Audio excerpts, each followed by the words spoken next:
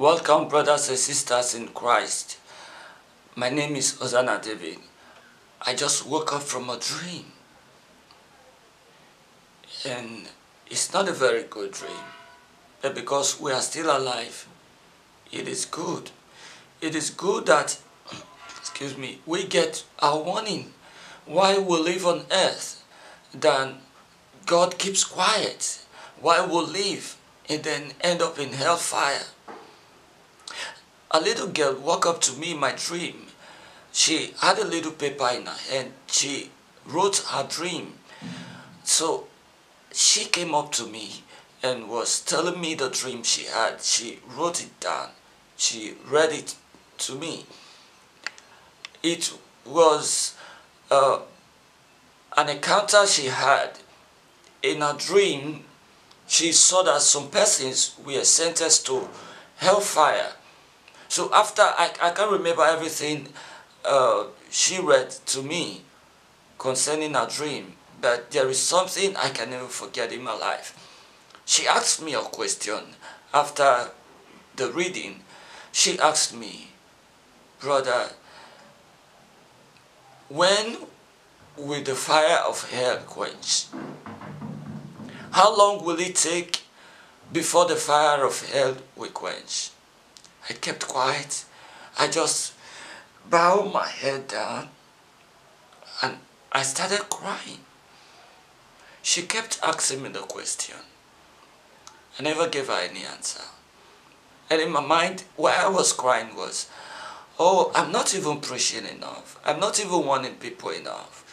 People don't even know that the fire of hell will never quench. I was just crying and thinking to myself that some people are even ignorant. They will only realize that there's a place called the fire of hell, hellfire, when they get there. After that, I found myself in another place. I saw a group in the church entering two buses. Uh, one was a coaster bus, one the other was about 18 seater bus. So I saw everybody wanted to enter the, they were rushing into the coaster bus. So I was in my room, but I was seeing them and I was saying, uh, everybody wants to enter this coaster bus. Uh, nobody wants to enter this uh, small bus. And I said, this is how it is. A lot of people think that if they enter a big bus, the coaster bus where people are many, in case there is accident, um, they have greater chances of survival that they will say, okay, uh, before I will die, maybe other people, there are other people here too who will die. Uh, it won't just be me. How will it be me when so so person, this one and this one, among this multitude, why would that be me? So I was saying uh, many of these people will like to enter a big bus, coaster bus, because they feel they will be safer there that in case there is anything like accident, there are other people in the vehicle that will die and not themselves. That they can't just be so unlucky to be the one to die. And I, I concluded the dream that it doesn't matter whether there are multitudes of people in a vehicle or it's just you alone or maybe few persons in a vehicle whosoever that will die will die. And i was thinking that in fact people are not even aware of death.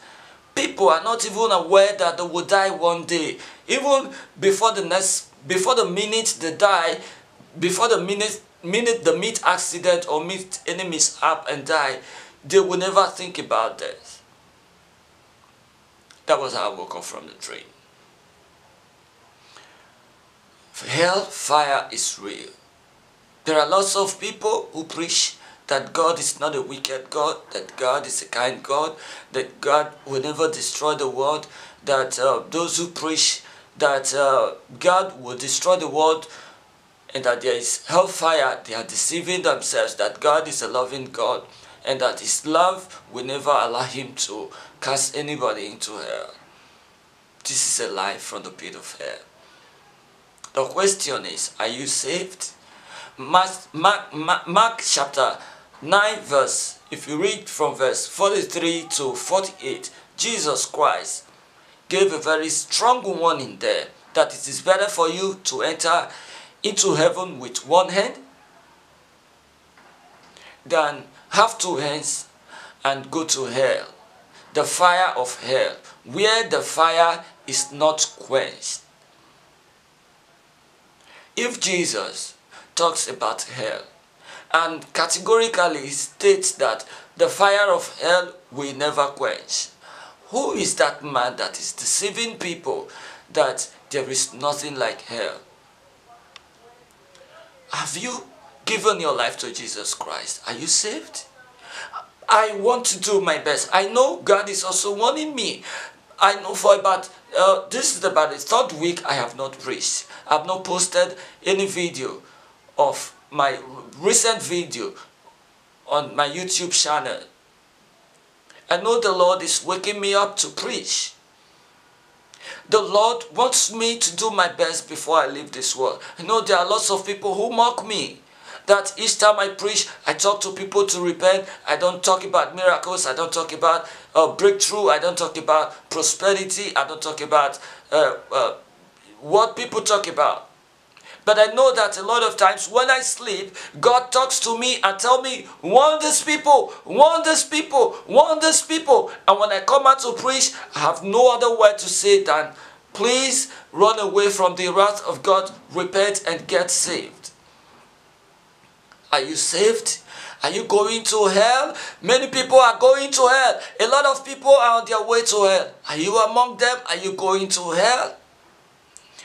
I pray that the Lord should strengthen me and also strengthen as many He has called to be watchmen in the world so that they can preach and cry and shed their tears here so that when they go to heaven, they will be overtaken by the bliss of heaven and not cry in heaven because they didn't do their best while they were on earth.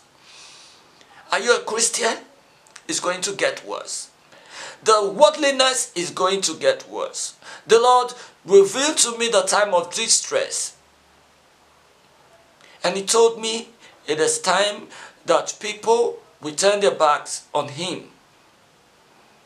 We are stepping into the time. We have just entered the time of distress. It's going to be a very terrible time. Please repent and give your life to Jesus Christ. Those things you call little sins will take you to hell. I told us some time ago when I preached, I said there was something the Lord was telling me. Hosanna, this thing is not small. It is big in my sight. Leave it. Stop doing it. And one day God told me, if you do not change, I will cast you into hell. I will not change myself. I will not change my law because of my love for you.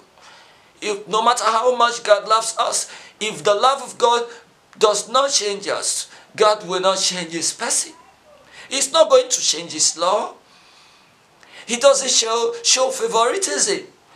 His words are yea and amen. If his love does not change us, God will never change himself. He doesn't change. Please repent. There are lots of people who are in the world who are ready to help you to go to hell. Please don't go to hell. Hellfire is real. Heaven is real. I was crying because I knew that the fire of hell does not quench. I couldn't answer the little girl. All I could do was cry and weep because a lot of people don't know that even hellfire exists. A lot of people who even know it exists don't know the severity of the fire of hell. The little girl asked me, how long will it take before the fire of hell will quench? Jesus said, hellfire was prepared for the devil and his angels. But humans, humans have resolved to go to hell. If Jesus returns today, Will you make heaven? Please, let's repent and know that Jesus Christ will appear any moment from now. The rapture will soon take place. He is near. He's at the door. Please repent and give your life to Jesus Christ. In case you have not subscribed, sub subscribe to my YouTube channel, Eagle Eye Opener, and also Uzana TV. You can visit my website and sign up, eagleeyeopener.com. Thank you. God bless you. Remain rapture ready. Bye-bye.